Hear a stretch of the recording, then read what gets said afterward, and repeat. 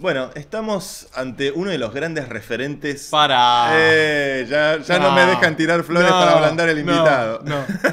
No. Sabía que esta iba a ser una entrevista picante. ante uno de los grandes referentes del capitalismo tecnológico nacional, podemos Me parece decir. demasiado generoso. Eh, Demasiado generoso. Para un humilde historiador. Eh, un humilde historiador de Harvard. Pierre, muchas gracias por venir a la última frontera. Santi, un placer. Gracias este- por la invitación. Estamos eh, en un momento más que interesante en, en el desarrollo de tecnología en Argentina. Eh, Walla ha sido absolutamente pionera en el, en el desarrollo de tecnologías financieras, de inclusión eh, y de crecimiento en toda Latinoamérica. ¿Cómo está hoy la empresa? ¿Hacia dónde está mirando eh, eh, su horizonte? ¿A dónde está mirando sus próximos años eh, de desarrollo en la región? Yo creo que Walla está en un momento increíble de crecimiento internacional, eh, habiendo lanzado hace 20 meses o 25 meses en, en México y hace 12 meses en Colombia. En ambos lugares eh, tuvimos la posibilidad de llegar con toda la experiencia de haber creado el producto en la Argentina eh, y, a- y en un país donde, donde ya tenemos una trayectoria de 5 años y medio.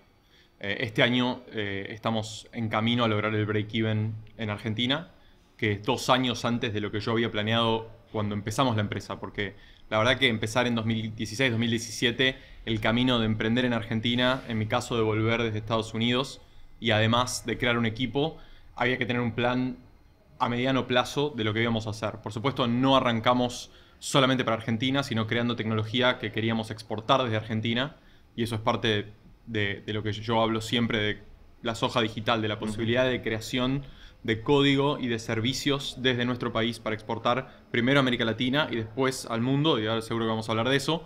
Pero la empresa está en un momento donde con 1.500 empleados, con 17 nacionalidades, trabajando desde 8 países, ahora tenemos tres mercados afianzados, creciendo, eh, llegando al break-even en nuestro mercado más grande, que es Argentina, y donde todo el ecosistema está desarrollado desde cripto a inversiones, desde eh, adquirencia a seguros, y donde tenemos todos los servicios y por supuesto creando ese ecosistema también para exportar. Eh, y, y también pensando en, en los segundos, o sea, cinco años de creación de valor, de expansión de equipo eh, y también de todo lo que vamos a invertir. Anunciamos que vamos a invertir más de 150 millones de dólares, que en este contexto, eh, en cualquier contexto es mucho, pero en este contexto de América Latina y de tasas globales es particularmente mucho, que muestra la confianza que tienen nuestros inversores, no solamente en un equipo, eh, pero también en el tamaño de la oportunidad en América Latina. Eh, y creo, como digo siempre, que la competencia eleva, entonces nosotros creemos que vamos a un mercado donde va a haber jugadores eh, regionales grandes. Obviamente entre ellos va a estar Mercado Libre, obviamente entre ellos va a estar Nubank, que son dos empresas que empezaron hace 25 y, y 14 años. Y humildemente creo que nosotros estamos para entrar en esa liga, creando producto y creciendo internacionalmente desde Argentina. Impresionante. Em, mencionaste cripto recién. Yo recuerdo que en algún momento teníamos un tole tole tuitero. Buenísimo. Los mejores toletoles son los tuiteros. y siempre un placer debatir con alguien que tiene el conocimiento que tenés vos. ¿Cómo, cómo fue el desarrollo de, de esa línea en Walla? Porque es muy interesante, justamente Argentina es un país muy, muy usuario de cripto. Este, y me imagino que obviamente ustedes siendo una, ofreciendo una solución de financiera tecnológica, este, la incorporación de eso me imagino que, que fue un desarrollo interesante puertas adentro. Primero, antes que nada, quiero agradecerte públicamente eh, los debates porque a mí me ayudaron a aprender muchísimo de, de cripto, que es también, un mundo ¿eh? nuevo. Sí, siempre es Y- bueno debatir. Y como historiador, eh, más allá de tu de uso o no de mayúsculas, eh, eh, eh, creo que, que es importante tener estas charlas sobre innovación financiera, hablando un poco de todo, de lo nuevo y también de lo viejo. Eh, y creo que en, en esas charlas yo había cosas de cripto que no sabía, que no entendía, y vos me ayudaste a, a entenderlas mejor, así que gracias, públicamente. Eh, y el debate, como la competencia eleva, ¿no? Creo que cuando debatimos llegamos a mejores soluciones entre todos. Eh, aplica a las empresas, aplica a la vida pública, aplica a los amigos, aplica a todo. Eh, y creo que en cripto nosotros eh, tenemos un equipo que, que, por supuesto, como digo, siempre es mejor que yo y sabe más que yo, donde siempre lo quisimos sumar al área de inversiones. Ujú. Nosotros tenemos cuatro grandes verticales en Walla. Tenemos la vertical de pagos, que incluye todo lo que son las tarjetas de débito, prepaga y ahora crédito en México, y también incluye conexiones directas de pago directo sin intermediarios tarjetas, Ujú. tipo eh, PCE en Colombia, que es como un instant payment, como Pix en México para los que nos oyen. Tenemos otra división que hace crédito, donde ya hicimos más de 5 millones de créditos, eh, donde tenemos un perfil crediticio para cada usuario y creamos una historia crediticia para las personas. Tenemos una parte de, merchant acquiring o adquirencia, que es el negocio más parecido a lo que hace Square eh, eh, o SumUp. Y, y, en ese negocio tenemos cientos de miles de comercios que ahora en Colombia, en Argentina y en, México usan Wallabies para cobrar, sea por QR, por transferencia, eh, por tarjeta o el día de mañana también con otros métodos. Y en inversiones nosotros empezamos con un fondo común de inversión, que para Argentina es esencial por el contexto inflacionario. Eh, pero como vos decís, el argentino que vive con inflación y, como decían siempre en las universidades de afuera, mi novia siempre cuenta la historia que, en, Yale siempre la mandaban a ella a explicar la inflación, porque los americanos no lo entendían.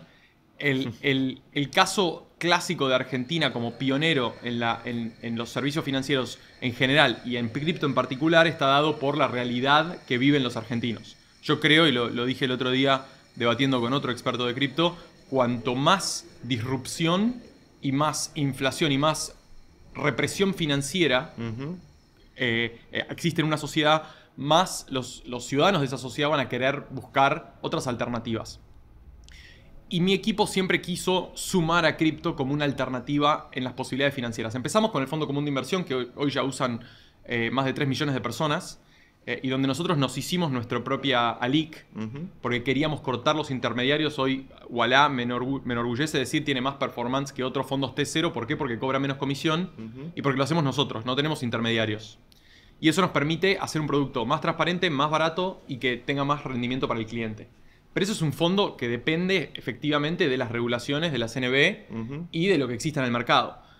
Después creamos la posibilidad de invertir en CDRs, que son acciones globales. Eh, y ahí sumamos también la posibilidad de comprar dólar MEP, que es lo que nos pedían los usuarios. Pero resulta que en Argentina, con el contexto que tenés y con la innovación que hay, la gente también nos pedía cripto. Y ahí nosotros quisimos hacerlo de una manera segura, transparente y educacional. Por eso lanzamos con Aula Walla, que es nuestra, nuestra área de, educación financiera, eh, un área dedicada a que la gente aprenda de cripto y después que pueda tradear eh, y tener Bitcoin y Ethereum. Yo creo, habiendo estudiado lo que estudié, y ahí me encantaría tu opinión porque sabes más que yo, que empezar con esas dos es lo clave para empezar, es el principio, es el MVP. Y es parte de la solución de inversiones, no es que está en el home, está dentro de inversiones. ¿Por qué? Porque lo consideramos como parte del portafolio que tiene que tener una persona. Y para mí, cada vez más pienso que el Bitcoin actúa como un oro moderno. Nadie menor de 30 quiere tener oro en su portafolio, pero sí quieren tener algo que hedgee contra la inflación, no solo la local, sino la internacional. Y el Bitcoin, por las características, eh, puede ser eso, y creo que lo es para mucha gente. Yo tengo cripto eh, mi portfolio y tengo Bitcoin. Y creo que el Ethereum, por las posibilidades de programar sobre Ethereum, actúa como, como petróleo, que es un input de cosas que se crean, como tu proyecto eh, y tantos otros, que creo que tiene la posibilidad de diversificar también dentro del portafolio de cripto. ¿Es todo lo que queremos hacer? No, es el principio. Queremos hacer más pero teníamos que empezar con lo más simple y lo más transparente para el ecosistema. De hecho, todavía no lo pudimos lanzar por las regulaciones existentes en otros mercados.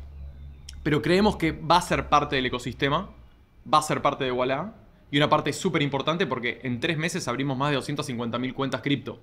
¡Wow! En tres meses. Wow. Con las limitaciones que existen en Argentina y en las redes sociales, como vos bien sabés, para publicitarlo, para hacerlo saber y, para, y, para, y con el deber que tenemos nosotros también de educar. Así que creamos OneX. OneX es la entidad de Walla que, hace cripto. Y ahí tenemos cosas tecnológicas que, si querés te las explico, pero son muy copadas. Y creemos que cada vez más, va, lo vemos, que cada vez más la gente quiere tenerlo como parte de un portafolio diversificado. Impresionante. Eh, recién mencionabas la, la, importancia de la educación financiera. Yo creo que una de las cosas más extraordinarias que tiene Walla es que justamente ustedes logran llegar a muchos lugares donde la banca tradicional o las, organizaciones, el Estado incluso ni siquiera puede llegar. ¿Cómo es la situación, el, territorio? ¿Con qué, ¿Con qué se encuentran? ¿Con qué tipos de usuarios se encuentran? ¿Con qué nivel de conocimiento financiero se encuentran? ¿Y por qué sacaron esta iniciativa de Aula Wallah como para, para impulsar mayor eh, educación financiera en la sociedad?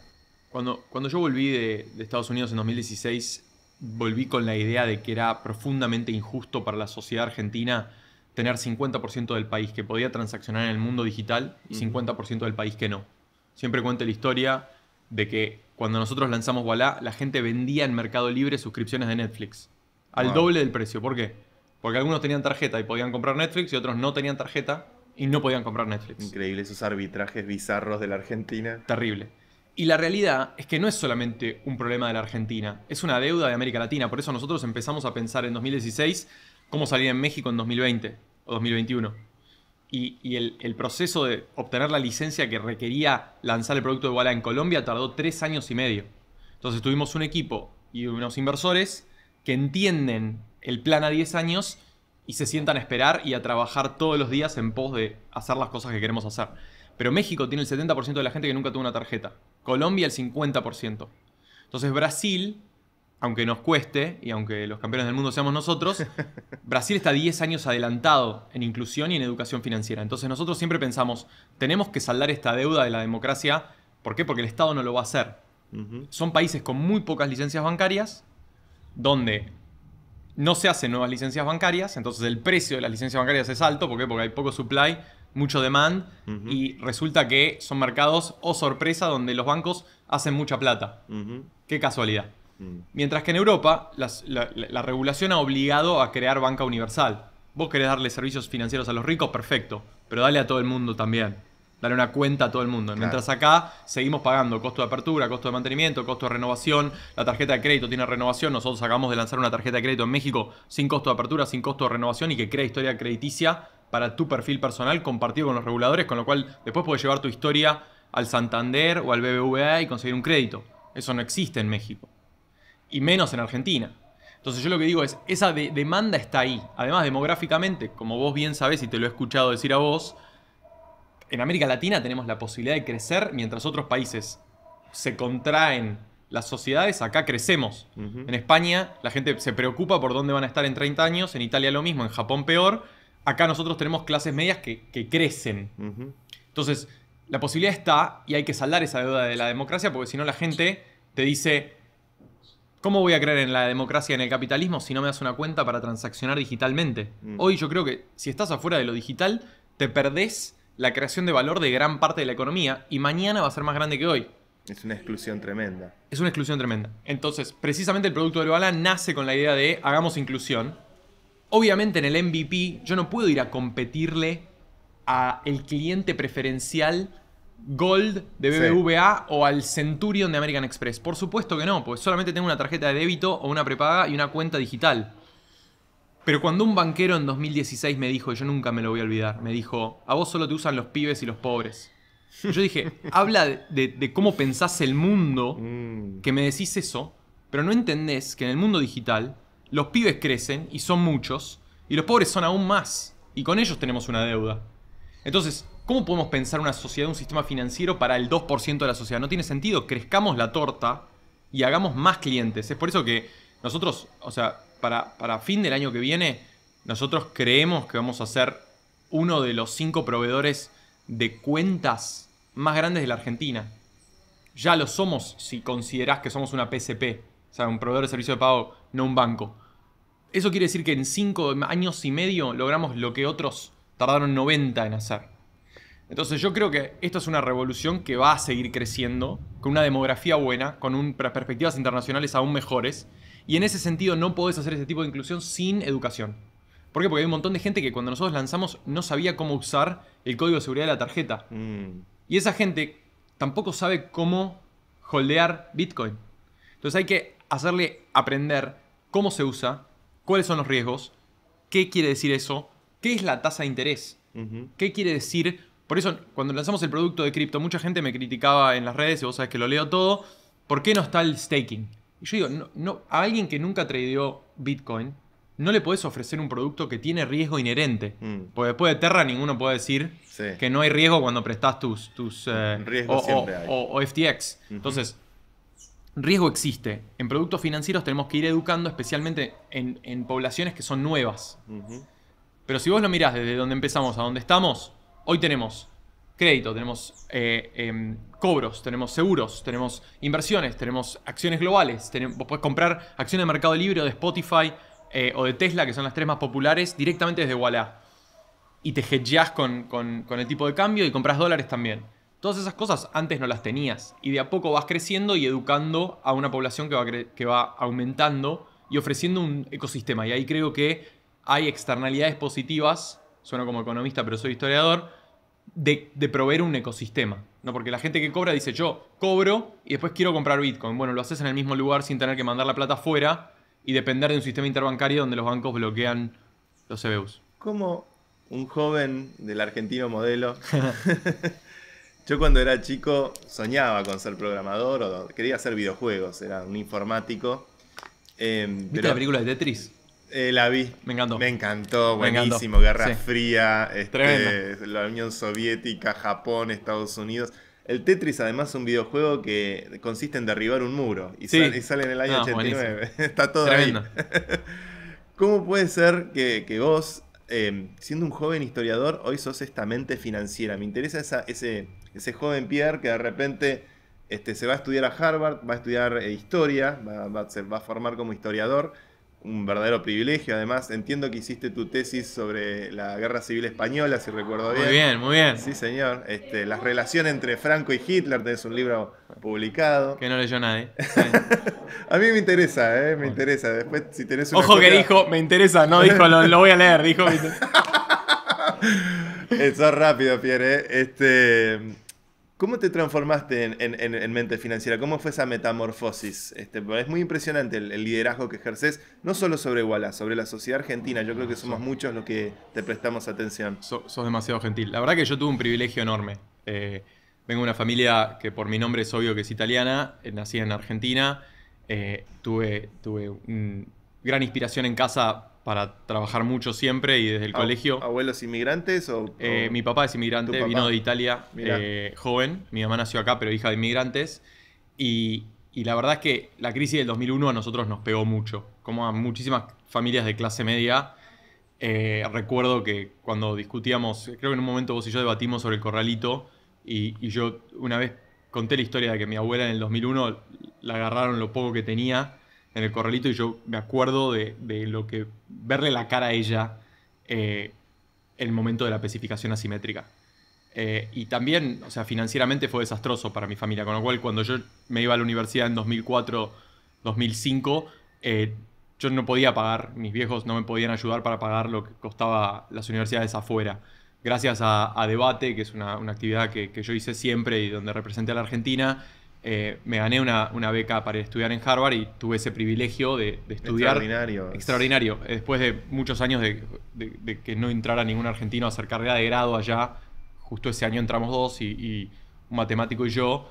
Eh, y, la verdad que yo llegué sin entender mucho y siempre pensando que, como dicen allá, yo era el admissions mistake, ¿no? Yo era el, error de admisiones. ¿Qué te imaginabas que era Harvard?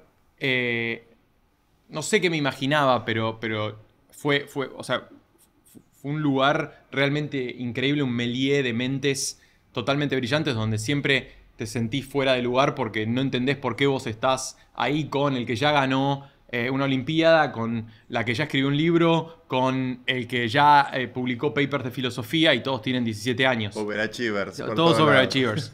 eh, pero bueno, el, el, para mí fue una experiencia increíble eh, que, me, que me enseñó dos cosas principalmente. Uno, pensamiento crítico.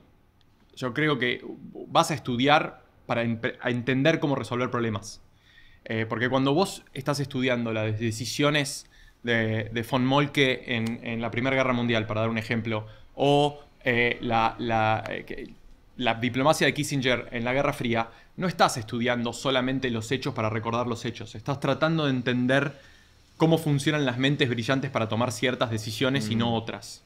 Y, principalmente cuando uno estudia, historia, estudia, y hay toda una filosofía de la historia, el problema de la contingencia. Mm.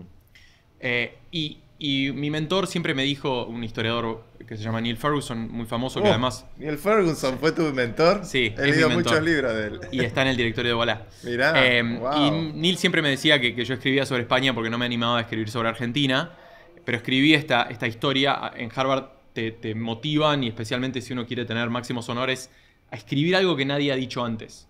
Y cuando estás rodeado de mentes tan inteligentes, es muy difícil decir algo Claro. que, ya lo decía Borges, eh, hay, hay- hay muy pocas cosas nuevas. Mm. Me acuerdo un, Borges en Harvard de un, de un increíble eh, clase sobre la dificultad de crear una nueva metáfora.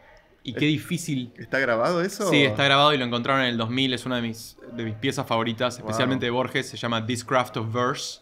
Y Borges, ciego, da cinco clases o seis clases en Harvard eh, sin notas, porque no las puede leer.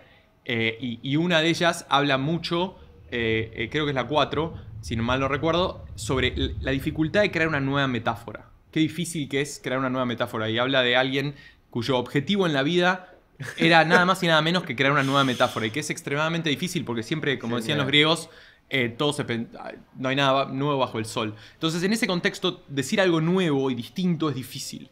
Eh, y, yo escribí sobre España porque el problema de la guerra civil española era algo que me apasionaba y mezclaba la historia, lo militar y la economía. Y creo que eso me atrajo a la economía, pero yo siempre tenía la idea del 2001 detrás. Y, y bueno, trabajé en Estados Unidos, trabajé en el Reino Unido, est- estudié un poco más allá y después siempre quería volver. Y para mí Wallah es lo que me permitió volver. Eh, y, y yo no puedo escribir una línea de código, a diferencia tuya, yo no, no pu- no puedo hacerlo y siempre lo quise hacer. Pero creo que mi rol es otro. Mi rol es, es eh, cuando uno lidera una organización, creo que eh, setea un objetivo, eh, hace equipo y pone las métricas para juzgarse a él mismo y al equipo en pos del objetivo. Eh, y Steve Jobs siempre decía lo de, lo de que los puntos no se pueden ver hacia adelante, pero sí tienen sentido hacia atrás. Entonces yo miro hacia atrás y digo, me sirvió un montón estudiar lo que estudié, me sirvió un montón ir a donde fui, también la experiencia en el sistema financiero me enseñó cómo funciona este mundo, pero siempre con la idea de querer hacer algo y, y- y cuando uno tiene un privilegio, también creo que tiene una responsabilidad. Entonces, en parte, a, a mí la creación de inclusión financiera me apasiona por eso, porque todo, todo usuario de Wallah recibe eh, su tarjeta y tiene mi mail personal. Entonces yo recibo mucho mail y leo cada cosa y leo cada mensaje y la verdad es que cuando vos creas un cambio profundo en algo tan importante como el manejo de, de tus recursos y tu plata, eh, es algo realmente transformacional. Eh, y, y es muy lindo poder tener la experiencia histórica y la experiencia de finanzas y poder aplicarlo en hacer esto con un equipo que me inspira. A mí me impactó mucho cuando yo te descubro, como imagino la mayoría de la sociedad argentina, te descubro por Twitter. Este, obviamente. No lo tuitees, Pierre. Eh, pero uno, uno, lo que realmente llamaba la atención y llama la atención eh, al principio era que, bueno, estabas permanentemente en Twitter atendiendo, incluso dialogando directamente con los clientes. eh, y al principio yo decía, pero este pibe está loco, ¿cómo no tendría alguien para delegar o para poder hacer esto? Y después fui entendiendo que esa presencia que vos tenés, como ese arremangarte y ser el primero que está haciendo el soporte técnico, ser el primero que está viendo qué le pasa a tus clientes, este, me parece como un estilo de liderazgo único y que no, no se lo veo a otros CEOs tecnológicos. Este, y quería preguntarte si, si fue como, si es que es parte de tu personalidad que estás siempre leyendo o, o realmente es como un estilo que, que fuiste desarrollando con, con los años como referente tecnológico que sos. Bueno, antes que nada, gracias. Es muy lindo lo que decís. No creo que sea así de verdad, eh, de que me merezca eso, pero yo creo que en el sistema financiero venimos de un mundo donde pocas licencias, poca bancarización, poca competencia, muchas ganancias para pocos. Mm, Y en ese mundo mucha gente se quedó afuera. Cuando nosotros creamos Wallah, tenemos una misión clara. Y nosotros somos extremadamente inflexibles con la misión y flexibles con el resto. La misión es traer a los servicios financieros al siglo XXI.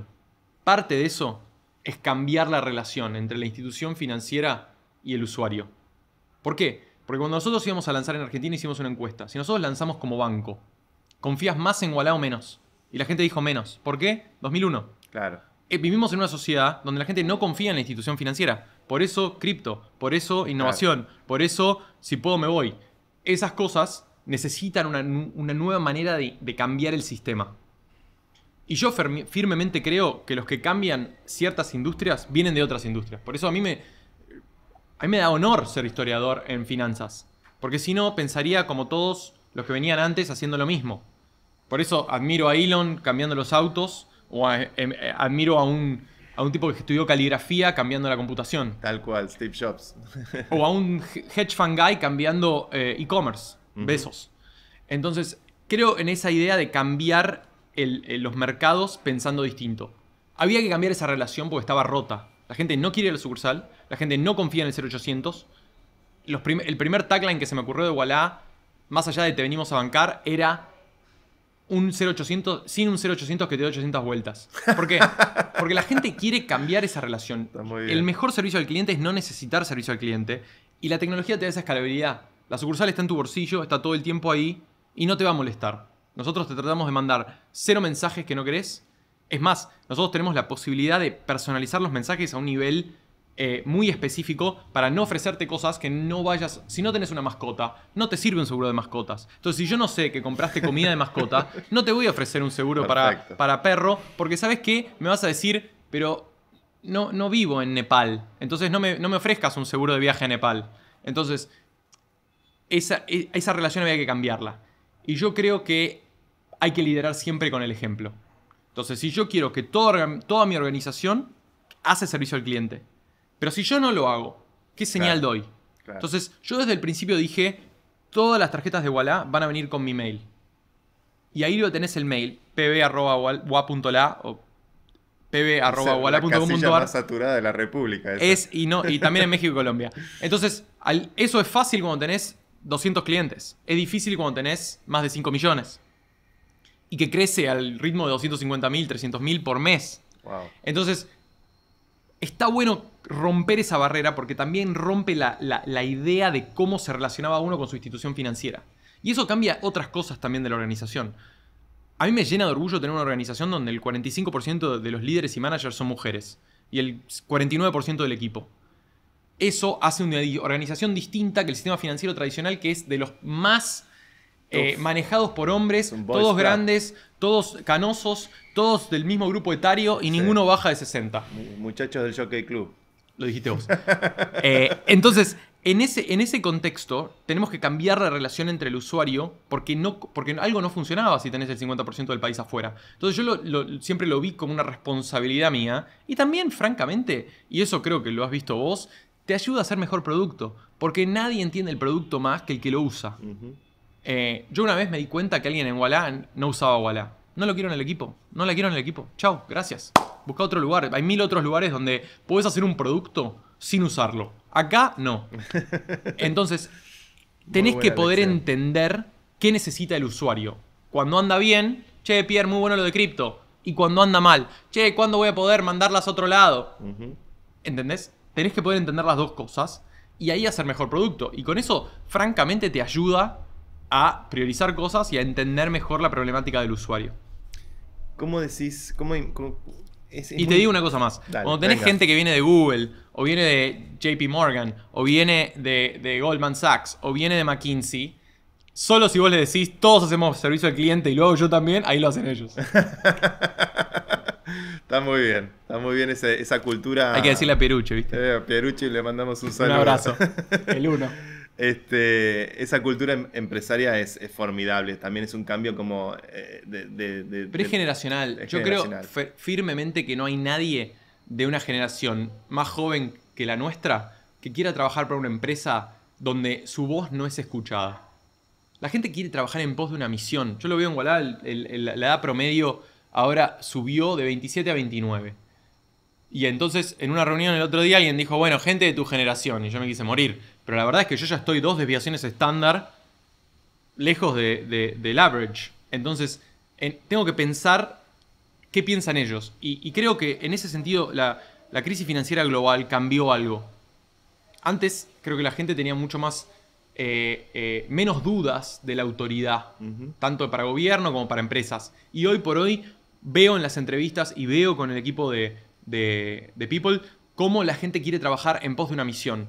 Y no es solamente lo que cobras a fin de mes o los beneficios y qué clase de café hay en la oficina y si hay fruta fresca o no, que por cierto hay. Eh, es el punto de creer en una misión y querer hacer eso. Y creo que eso no va a cambiar de vuelta. Y eso requiere una organización mucho más horizontal que la, típica organización eh, de los 60 o de Mad Men, donde está el tipo que le reporta al otro, que le reporta al otro, que alguien que hace el martini y todos trabajando para el jefe. Que viene dos veces al- a, la semana a la oficina, saluda a dos personas, pero no conoce el nombre de nadie más. Y vos, como viste, yo me siento ahí con todo el mundo. Debo decir que, que entré acá caminando este, y te pasé al lado tuyo y no me di cuenta. y En, en la misma planta donde Bueno, pero eso también es filosófico. Creo que las mejores organizaciones son donde el CEO se sienta con todo el mundo. ¿Por qué? Porque un día me siento con la gente de adquirencia, otro día me siento con la gente de contabilidad y tenés que entender las problemáticas de ellos. Si estoy en mi caja de cristal, lejos de todo el mundo y almorzando con los amigos en el club, que por cierto no tengo, eh, club, amigos sí, eh, eh, no, tenés, no tenés la posibilidad de entender qué pasa en tu organización. Es lo mismo que lo de los usuarios. Pero creo que cuando alguien empieza en Walla y me ve ahí, sabe que puede parar y decir, che, ¿sabes que estuve pensando que el producto de cripto, quizá los 30 segundos que holdeamos el precio para que la persona se decida algo distinto en la industria, podemos mostrarlo de otra manera, con otro color?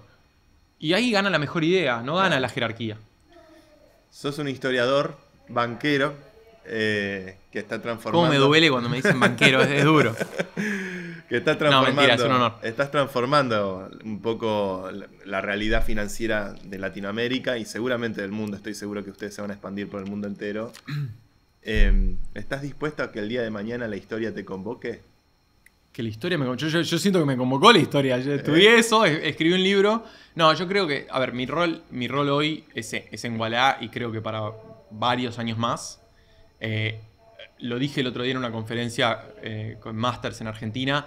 O sea, yo tengo el honor de haber eh, eh, tenido inversores, algunos de los mejores del mundo, algunos que nunca antes habían invertido en América Latina o en Argentina. Nosotros tenemos a Tencent de inversor, a Soros de inversor, a Goldman Sachs de inversor, eh, a, a SoftBank de inversor, a Monashis de Brasil. Monagis, sí, yo los tuve a Monagis, Capos. a, eh, a Eric. Capo Lo quiero mucho. Eh, que vino acá y, y vino un día solamente para conocernos y, y- y entró en el deal eh, cuando había otra, otra gente, porque ellos entienden América Latina desde otro lado. Pero tenemos todos esos inversores que se jugaron no solamente por un pibe que no codea, sino también por un país donde hay inestabilidad macroeconómica. Eh, y creo que, obviamente, nosotros estamos ni siquiera a la mitad del camino, estamos en day one. Entonces, nos queda mucho por hacer en esta transformación que yo creo que tiene externalidades sociales positivas enormes. El día de mañana veremos. Eh, yo algún día quiero terminar el segundo libro que empecé y no terminé. ¿De qué va? eh, sobre, sobre la integración, esto no lo dije nunca, sobre la integración económica de América Latina. ¿Por qué no existe una Unión Europea de América Latina? ¿Por qué nunca logramos desde el siglo XIX eh, una integración más profunda? Yo lo Una hemos moneda también... común, por ejemplo. Yo estoy a favor de una moneda común, yo estoy a favor de un Mercosur más profundo. Creo que en los últimos 25 años una gran deuda que tiene la región es que eh, la Alianza del Pacífico crece, el NAFTA o USMCA hoy es increíble, lo veo en México, eh, estuve eh, viviendo en México 3-4 meses, estando cerca del equipo, porque estamos lanzando muchas cosas allá y creciendo mucho. Y la verdad que lo que le da a México el- el- el- ese acuerdo de comercio con los Estados Unidos es increíble. O sea, Elon acaba de anunciar la construcción de, una, de, un- de- de- del- de la fábrica más grande de Tesla del mundo en Nuevo León. Es un honor para México que eso esté ahí. Yo quiero que esté en Argentina, pero tenemos un mercado de 45 millones de personas, muy cerrado al mundo, con muy pocas exportaciones, con muy poco comercio exterior y con, con debates que francamente no se dan más en el mundo. La idea de cerrar todos los sectores, vos sabés que yo soy, fui muy vocal con el tema de los aranceles. O sea, yo no puedo creer cómo hacemos una sociedad donde eh, eh, le cobramos aranceles a las computadoras que necesitan usar, los que menos tienen, para acceder al mundo digital. Una locura. Una Bueno. locura absoluta. Entonces yo creo que lo más progresivo en una sociedad es que los que menos tienen tengan la posibilidad de crear movilidad social. En eso se basaba el sueño argentino. Y se basa el sueño argentino. Y creo que tenemos una sociedad con mucha buena movilidad social históricamente. Eh, pero bueno, mi, mi lugar hoy es en Gualá. eh, y quiero escribir en ese- algún momento esa, esa- esa historia de la falta de integración. Es difícil escribir una historia de lo que no existe. Eh, pero bueno, ya lo dijo Sabina, ¿no? Habrá que hacerla. Sí, exacto. Pero ya lo dijo Sabina, uno, uno- uno extraña mucho lo que nunca ocurrió. Y y, em, es, es importante, eh, ahí te da un poco idea de mis gustos musicales, ¿no? Acabo de citar a Sabina, ya los de 25 no me entendieron nunca. Eh, y, Ya te van a entender cuando crezcan. Está vas bien, a ver. Es verdad, es verdad, es buen punto. Pero bueno, yo, yo creo que en ese sentido hay mucho por hacer y el tema de inclusión financiera es como, es como la posibilidad del comercio digital. O sea, cripto va a crecer por tres décadas. Comercio digital, estamos al 20% de las transacciones digitales cuando China está en 70%. Japón está en 50, Europa está en 60, Estados Unidos está en 50. Yo hay pocas cosas que sé en la vida. Viste, Ben Franklin decía que solamente la muerte y los impuestos son certeros. Bueno, yo sé una cosa más. Muerte, impuestos y transacciones digitales. Mañana va a haber más que hoy. Y, y hoy va a haber más que ayer. Entonces, en ese camino queda tanto por hacer en América Latina. Y que yo quiero crear producto acá y expandirlo y después vemos. Pierre, te quiero agradecer porque yo siempre, eh, ayer por ejemplo, di una charla en ciencias económicas y trato de transmitir que en Argentina... Me dijeron que se puso política. ¿Eh? ¿Te dijeron? Hay rumores. Hay rumores. este, y siempre digo que en Argentina hay unos diamantes en bruto formidables escondidos en la sociedad que tienen que ver con la nueva generación, la nueva generación emprendedora, tecnológica, y vos sos un exponente increíble. La verdad que tenés un liderazgo impresionante en el sector, en la industria, en el país eh, y no tengo la menor duda que la historia ya te convocó hace rato. bueno, gracias. Y la verdad que es lindo tenerte acá, un placer que vengas a las oficinas. Sabé que valoro cada debate que tenemos y, nada, es lindo verte a vos acá en Argentina porque yo siempre digo que, es increíble que, las mentes se vayan a formar afuera. Lo hice yo, viví 12 años afuera. Eh, es más, vos y yo nos conocimos en Madrid la primera vez en persona, después de mucho debate tuitero. Y, y, yo siento que tenemos la posibilidad de que toda esa gente cree productos desde acá, cree ideas desde acá, cree cambios desde acá. Eh, así que es muy lindo tenerte acá. Eh, espero que sea más usual. Eh, hoy, esta, mañana, dije algo. A mí me duele cada vez que se hacen esas despedidas y la gente se va. y si se van para estudiar y para volver, perfecto. Pero siento que, especialmente en nuestro sector, hemos perdido muchas mentes brillantes, incluyo la tuya. y creo que es importante que en algún momento tengamos las condiciones para que vuelvan, para que se sientan de emprender de acá, porque yo creo firmemente que la calidad de vida de Argentina puede ser mucho mejor y solamente con esas mentes acá podemos realmente bajar la pobreza y crear oportunidades para más gente, eh, que es parte del privilegio que tenemos de poder crear trabajo, oportunidades y cosas. Así que es muy lindo para nosotros tenerte acá y gracias por este tiempo. Volveremos. Muchas gracias. Gracias.